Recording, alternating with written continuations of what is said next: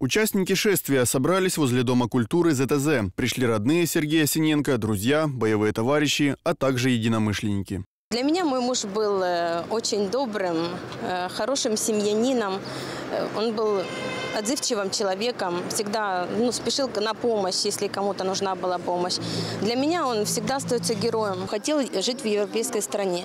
Ездил, вот у него на машине были с дочкой ездил на этот на наш Майдан. Я був на Майдані, був на Грушевського. Ну, зустрічався з ним, я знав його, я дуже добре знаю його батька. Він був е, чесний і, як би вам ще сказати, Як товариш, яким він? він нормальний. На його можна було покласти, як кажуть, знаєте, така заїжджена фраза. З ним можна було спокій- спокійно йти в розвідку, спокійно е, воювати в окопах, не оглядаючись нікуди.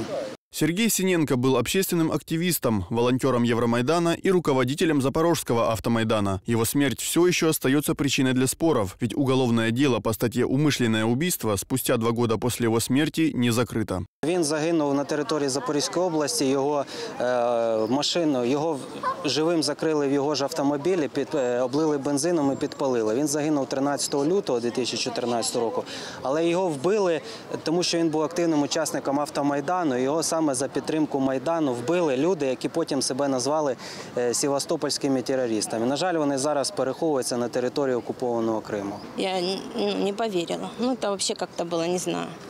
Уехал просто человек э, из дома, повез детей в школу, в садик.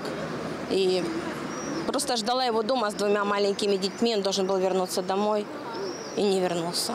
Сергей Синенко – единственный запорожец из Небесной Сотни. Месяц назад по инициативе общественников было решено переименовать улицу Кремлевскую в его честь. На доме Сергея установили мемориальную доску и сменили название улицы.